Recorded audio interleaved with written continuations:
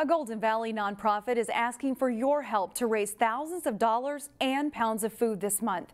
PRISM is taking part in the statewide annual March Food Share event. This year, PRISM has a goal to raise $200,000 and pounds of food. This makes a huge impact on the community. Um, we've got record numbers of people coming through our door right now. In January, we had 901 families come through the food shelf. That's 25% more than just last January. PRISM will have a van tour as well where volunteers will be out in the community picking up donated foods and funds.